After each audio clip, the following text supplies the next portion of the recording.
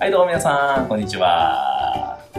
久しぶりにね、えー、奈々ちゃんと二人で動画をね、撮影しておりますけど、現在ね、今日が12月の16日で、あの、今沖縄にね、いるんですけども、あったかいね。あったかい。ね暑い。暑いですよね、ここね。暑い。ああ、もう、こんだけこう、あったかいとね、うん。やっぱりこう、いいですよね。緩む。うん。うん。ね、あの、いつも冬が苦手なね、あの、ヨンちゃんとナナちゃんなんで、なるべくこうね、あの、寒くなるとね、どんどん南の方に、南の方にね、降りてきながら仕事をするというね、うん。のスタイルをとってますけども、うん今日はね、あの、どんなことをテーマにお話ししようかと思うんですけども、うん。あの、なんとなくね、うん。その、こんな話を僕、ちょっと以前に仕入れて、うんあ、これ面白いかなと思ったお話があって、それ何かっていうと、うんあの、恋。うんだから恋わかりますよね、あの、意見に。そう。で、その恋を、確かこれなんかテレビかなんかでやってた情報だと思うんですけども、ブラジルから、うんえっと、日本に運んでくる、空輸をしてくるときに、うんなんかその、空輸してくる業者の方たちがね、うん。いろんな工夫をするわけですよ。うん。それ飛行機に乗せて、で、恋を運んでくるんですけど、日本に到着する頃にはね、かなりの恋が死んでしまうんですよ。で、こう、いろんなこの実験をするんですけど、なかなかあの、生きたままの状態で恋が運んでくれ、来れないということでどうしたもんかなということで、うん。実は編み出したのが、うんある生物ね、うん。をその水槽の中にうん恋と一緒に入れると、うんなんと恋が、うん。の生存率が上がったよっていうね、ね。そんなお話があるんですよ。ね、それもっと言うとさ、別に生物と言わなかったんです。ヨンちゃんは私に、うん。うん。どんな方法だったらば、まあ、すごい長距離の空路、空路うん。の間で恋が、うんあの死なずにうん。到着したか分かるっていうのをねうん聞いたことがあるのね。うん。私それすごい場面なぜか覚えてて、で、その時ね、うーんって感じたの。うん。その時私答えたんうだよ。ん。で、一発で当てたから、うんヨンちゃんが、なんであんた知ってるのって言ったのを覚えてる。うん。そうね。うん。うん。だから、あの、皆さんね、うん。あの想像してみてくださいよ。うん恋をこう運んでくるにあたって、うん。ある一匹の、まあもちろんね、水槽の中に入れるんで、お魚のお仲間ですよね。それを入れたことによって、劇的に生存率が上がって、まあ恋をね、うんきちっとこのね、あの日本に持ってくることができたっていうお話なんで、まあ答えから言うとね、なんとそれがね、ピラニアなんですよ。皆さんわかります？ピラニア。ね？ブラジルのそのアマゾンとかに生息する肉食のお魚ちゃんですよね。うん。で、それを数匹、うん。その鯉が入ってるところに入れて、うん。なんと運んできたら、うん。その鯉ちゃんたちが、ね、死なずに、ね、日本まで運ばれたっていうのがあって、普通に考えたらね、なんか肉食のピラニアだから、逆に全部食べられてしまうんじゃないかなっていうふうにうん思いがちじゃないですか。でもなんと、そのピラニアを入れた効果によって、うん。その鯉ちゃんたちが、うん。こう、生き残ったという。だから私はそのね、あの生物とは聞いてなかったけど、どうしたら生きたままね、うんうん、死なずに恋たちが、あの日本に着いたかって聞かれた時に、私はインスピレーションでうね、ん。ピラニア入れた って言ったんですよ。よ。これは私の直感だったんですね。うんでかもうヨンちゃんも、うんなんであんた知ってんの？って言って、でも私も、なんでかピラニアと思ったよっていう感じだったんだけども、まん。あそれそもそも、私実は落読をね、うん、作った時。に、人間ってね、うん。こう死にかけた人のうん脳の回転数とか、追い込まれた時の、ね脳の回転数、うん。要するにこう、例えば赤ちゃんが、うん自分の子供が車の下敷きになったら、うん車持ち上げれるとあ、か、火事場のクソ力的なもんね。そうそうそううん要するに死にかけたらうが、んすごく異様なパワーが出るってことはどっかで知ってたのね。うん。でも、そういう過酷な状況ではなくて、笑ってるんだけども、うん過酷な状況に脳みそをね、うん。あの、したらば、うん。実は今まで休んでた脳、うん動動いてなかった脳がうん稼働するんじゃないかなと思って、うん実は落読作ったので、うん。どっか私、本能的に、うんその生命維持機能うん。みたいなのを知ってたのかもしれないですよね。なるほどね。その経験があったから、僕がその、なんかヒントというか出したときに、うん。あの、そうじゃないかなっていうふうに。よぎったんです。うん。で、なんでそれピラニアなの？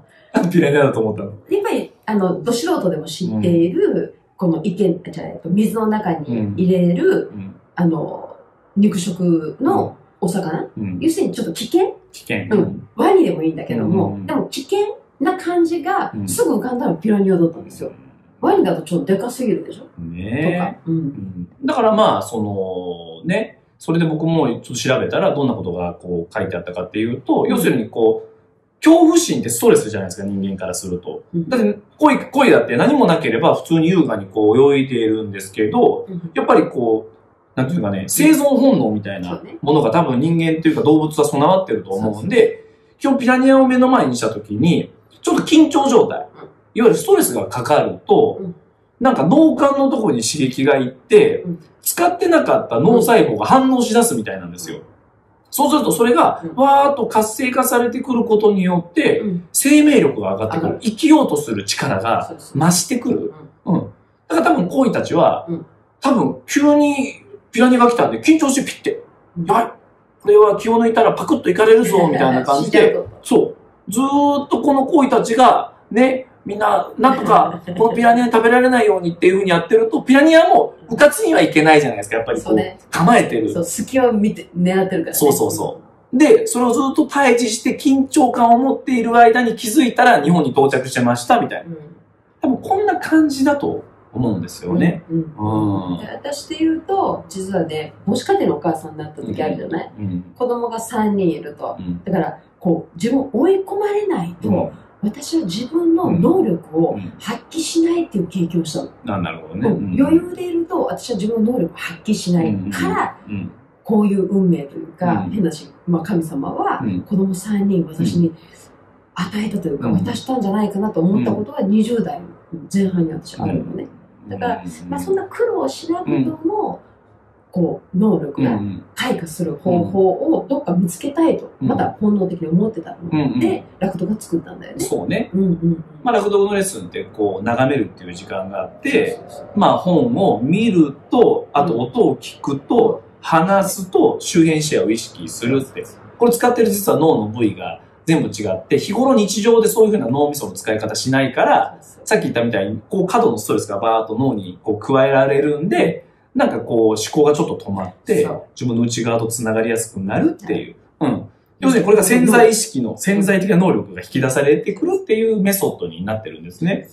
だから多分、奈々ちゃんが、とっさにその、まあ、ストレスというか、緊張感をちょっと与える、脳に刺激、ショックを与えるっていうふうに直感的に感じたんではないかなっていうふうに思うんですね。だから僕の動画でも、多分、ソータの動画でも出てるように、なんかうん。若干なんとなくうん、苦労って良くないものとか、ねその、そういったこう、トラブルがさ、あの、ダメなもんだっていうふうに思ってる人たちが多くて、実は人間って、うん。そういうトラブルとか、うん。まあ、僕らトラブルのことはアトラクションっていうふうに呼んでるんだけども、そういったものが来た時の方が、人間的な成長がそこでこううん。味わえる。本当楽しいんだよ。うん。本当はね。うん、だからトラブルを避けたいだろうけども、実はうん。トラブルが来た時うに、ん。本来のっていうか、うん。もしくは新しい自分の経験ができるチャンスの時うんうなの。ん。うん。でもそのトラブルがないと、平坦というか、うん。そんな自分の本領をうん。発揮することはあんまない。そうね。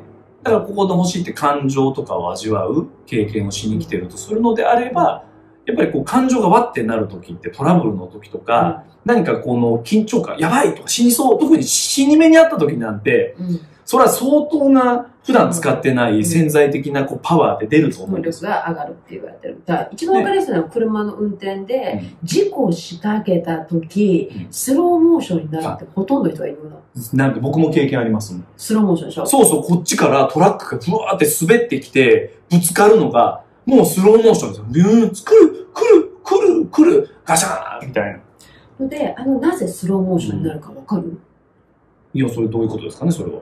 要するに、うん。脳の回転数があ、なるほどね。異様に上がったんですよ。自分の、あの、危険、うんうん危ないが察知された時に、異様に脳の回転数が上がったので、すべ、こう、スピードがゆっくりに見えるわけであ、す。なるほどね。そうそうそう。それってなんかね、普段は人間って脳みそってすごくね、うんエネルギー消費するんですよ。うんだから、僕らがその日頃脳みそをマックスに使っちゃうと、うん実はエネルギーすごくつあの使うんで空腹状態になっちゃうわけじゃないですか。でも人間ってそんなに胃袋大きくないんで、貯められるエネルギーってね、あの、限度があるじゃないですか。だから日頃は脳みそっていうのは必要のないものは見えないようにするし、遮断する機能がついてるんですよね。まあそれがあのスコトーマとかラスとかって呼ばれてる、まあ脳機能学でもいろいろね、最近では解明されてるんですけど、でもいざという時になったらちゃんとうんこう働こうとする。うんその瞬間が、なんていうのブレイクスルーというかそう、そうそうそう。今まで眠ってた能力が開花する。うん。だからトラブルがうん起こった時は実は本当にチャンス、なんですよという話ね、そうそうそう。うんうんだから、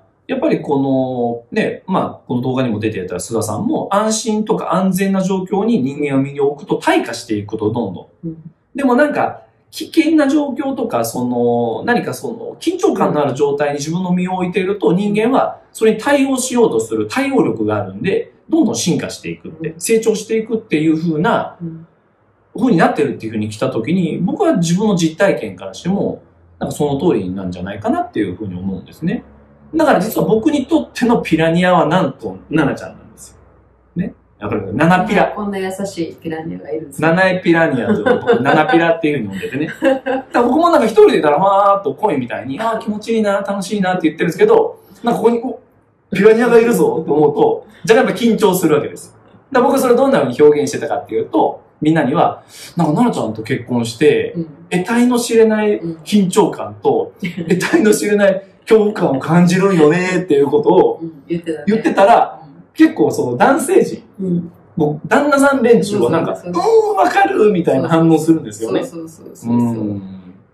怖い。そう、なんか得体の知れない。まあ、力関係で言うと、部長、男の方がね、馬力があったり力はあるんですけど、そうではない、何か緊張感とかね、うん。恐怖心が、何かの目覚めとか気づきにつながる？だからね、ヨンちゃんは自分のミッションのために、うん。ナナちゃんは絶対にふもう不可欠、絶対必要なんだって言ってたのは、その成長のためですかね。そうそう。だから恋が日本にたどり着くっていうのがミッションというか目的だとするなら、僕は自分のその行く、うん行きたい世界のゴールにたどり着くために、うん。平井七井というピラニアを自分の環境の中に設定して、うんある種一定の緊張感を持ちながら、ずっとやってるうちに気づいたらたどり着くみたいな。うん多分こういうね、設定を無意識に多分僕したんだと思う。うん。7以外に怖いものがあんまないんだよね。まあない、ね。だからこの怖さっていうのが、いわゆる一般的な怖いのと質がちょっと違って、えだから、なんか皆さんえも、うんなんかその、やっぱり苦言とか言ってくれたり、やっぱり自分の本当のこと言ってくれる人ってもう耳も痛いし、うん。避けたくなるじゃないですか。うんでもそれを避けてしまうと、実は自分の成長っていうのがね、うんそこに伴ってこないと、本当の意味でのこの世界の楽しみってあるのかなっていうふうに、僕はもしかしたらちょっと M 気があるから、極端な話をしてるかもわかんないんですけど、うんでも振り返ってみるうと、ん多少なりともうん苦と楽っていうのはやっぱりセットになってるんで。これ表裏一体みたいなとこあるじゃないですか。そうです。ね。そうです。苦しいだけだと、なんかす楽しいがわかんないし、楽しいと苦しいがセットになってるから、ちゃんとね、やっぱ成長ポイントです。うん。うんうん。私がよく言ってるのは、嫌いが分かったう時んに、だからこそ好きが分かる。うんでもね、嫌いがなかったらね、うん。全部好きだからね、そんなね、刺激的ではないんですよ。うんそうね。うん。平坦って言い方になっちゃうけど、うん。なだらかというかな、うん。一応毎日成長するんだろうけども、なだらかなんです。でも実は、おーっとか、うん。なんか嫌なこと、が起こった時が、エッジ聞いて成長できる感じは、私の中ではあります。うん。そうね。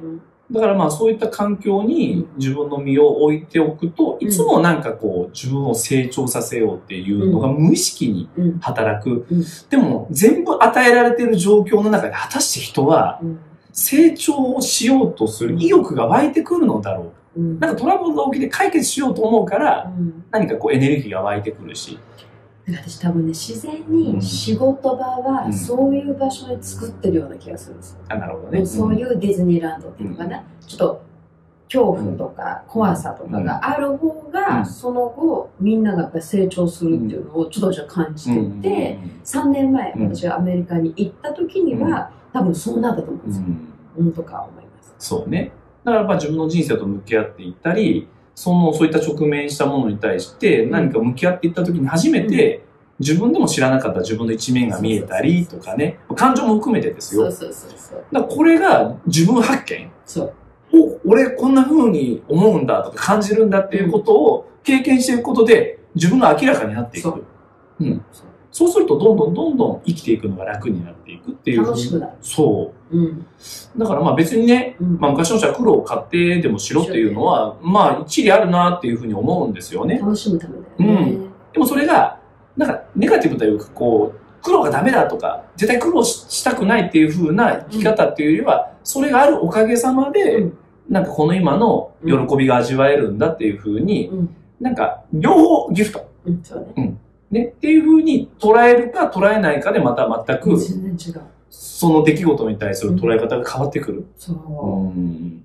だからね、恋とピラニアの話は、いやすごく、この世の中にー。ね、うんいろいろ起こってんじゃないかなと。そうそうう。ん。だから会社とかでもそうじゃないですか。なんか平穏に今まで仲良し小良しでやってたとか、社長が急に変わって、めっちゃこの厳しい社長になった瞬間に社員たちがピリッとしだしたり、うん。なんか、この会社は今まではこんな風土だったんで、あの社長の言いなりはならないぞって今までなんかバラバラだった社員たちがいきなり団結しだすみたいな。うん。こんなのもあったりすると思うんですよね。うん。特に M&A とかする、される会社ってそういう傾向が強かったり、まあ、僕も実際サラリーマン時代にね、うん、そうやってこう会社のこう主導権が変わるという経験をしたことがあるんで、だからなんか適度な刺激、うん、適度な、まあ、ストレスというかなんかこう圧がかかった方がうん人間はうん潜在的な能力が引き出されていきながらうん成長を味わっていくんではないか。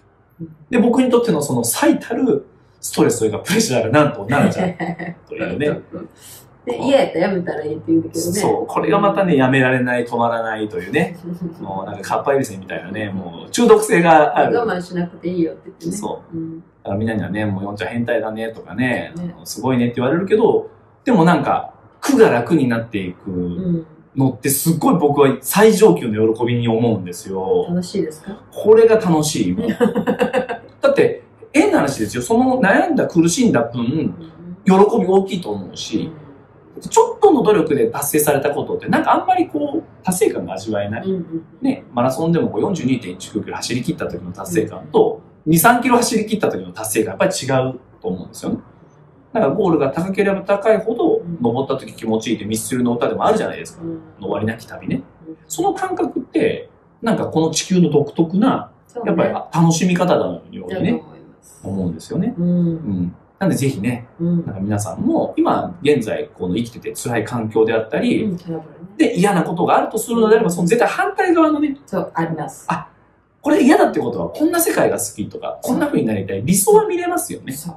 うん。もうとにかく理想の見方が磨かれていくチャンスです。ね。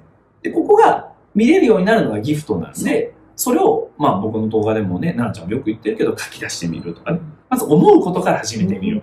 正直、自分の気持ちに正直に生き出すと、絶対扉が開いていきます。ね。で、思ってくると、どんどんその思いが深まってくると、自然になんかね、自分の波動が変わっていくんで、起きている現象とか出会う人が変わっていきながら、なんか自分の描いてる理想の世界に、なんかいさなわれていく。そうそうそう。そのための出来事が起きてくる。そうそうそう。っていう風なのが、なんか僕と奈々ちゃんの生き方というか経験のようにね、あの、思うんで、うんぜひね、あの、皆さんも、うんこの動画を見てね、あの、参考にしていただいて、うんあの、なんか前向きにね、少しでもなれたらいいかなっていうふうに思いますんで、ぜひトラブルを楽しんでみてください。あなたにとってのピラニアは誰だ？みたいなね。うん。ぜひね、そんな楽しみ方をね、していただければと思いますね。そうすると多分、奈々ちゃんと僕のことを見る皆さんの目線もね、ヨンちゃんいいピラニア手に入れたなって。7ピラまあまあやるよって、みたいなね。普通やで。これは相当なピラニアとしてはね、価値が高いというふうに僕は思ってますね。ね、ぜひな、皆さんもね、なんかコメントに、僕はこんなピラニアと一緒にいるよとか、あればですよ。あればね、教えていただければと思います。私はピラニアかなとか。あ、自分がピラニアの場合もありますからね。うん。あ私、あの、彼にとってはピラニアかなみたいなね。あ、だから彼は成長していくんだとか。会社の中とかでもね、そういう見方をすると、なんかね、楽しいんではないかと思います。はい良くなるために起こっているっていうね。そうですね、うんはい。ということでね、うん本日はこんな辺でね、はい。終了したいと思います。ご視聴今日もありがとうございました。ありがとうございましたさようなら。じゃあ